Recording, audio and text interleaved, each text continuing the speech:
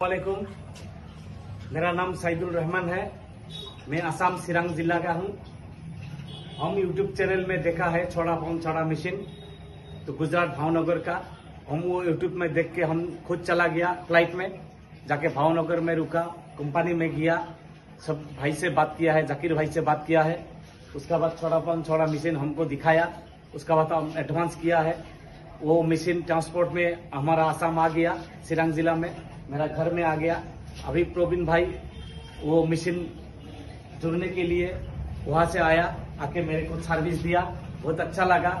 तो अभी कैसा पाउच कैसा चौड़ा बनाना है पूरा हम लोगों को सिखा दिया। सर आपको पूरी जानकारी लिख के दी है जो भी जानकारी मशीन न्यूट्रेशन फ्लेवर कैसा बनाना हाँ, है? कैसा फ्लेवर बनाना है कैसा मतलब सारे कुछ हमको सिखा दिया।